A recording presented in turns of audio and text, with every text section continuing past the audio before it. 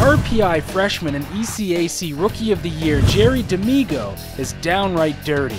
I'm a grinder. Uh, definitely go in the corners. Uh, I know I'm not too big, but um, definitely play bigger than I am. D'Amigo was a sixth round steal in 2009 and one of only two players Toronto drafted listed under six foot in height. The other, first round pick Nazem Kadri. He's going RPI. I mean, that's, that's a very difficult school. So you're talking about a guy that starts with a real high IQ.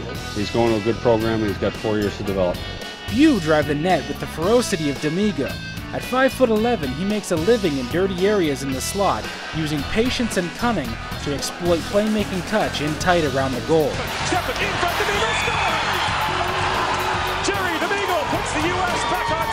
D'Amigo masks skating flaws with intelligence, courage, and quick decision making in the offensive zone.